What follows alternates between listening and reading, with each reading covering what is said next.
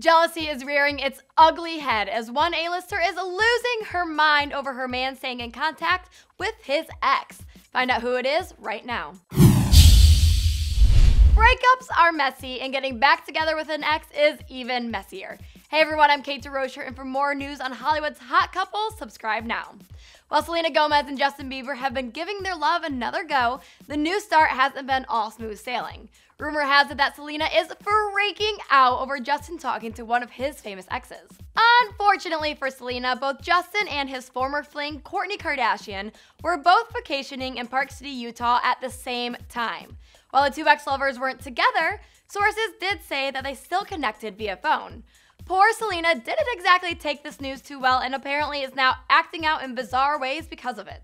A source for In Touch magazine said that when the Biebs and Selena first got back together, she made him delete several girls' numbers from his phone. Probably a good move on her part. One of the forbidden females was none other than Miss Kourtney Kardashian. And while Justin obliged Selena's request to make his babe happy, Kourtney, on the other hand, never deleted Justin's digits. So when they were in Utah, Court reached out.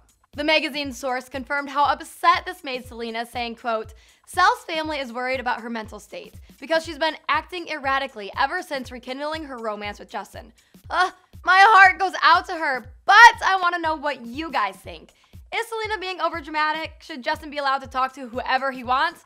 Or should contacting exes be a no go? Let me know by commenting now. Whether you feel for Selena or not, one thing's for sure that the pop star's mom, Mandy Teefey, is probably pretty happy with the reports. The mama bear was super against her daughter getting back together with Justin, and as a result, her and Selena are going through a rough patch.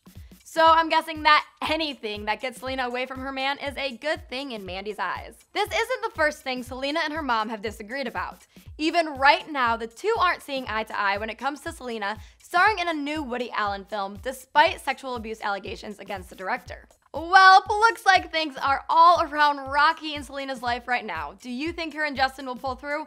Or do you think this whole thing is just ridiculous and Kourtney never even reached out to Justin in the first place? Give me your opinions below. For all things entertainment, hit the buttons and subscribe for more.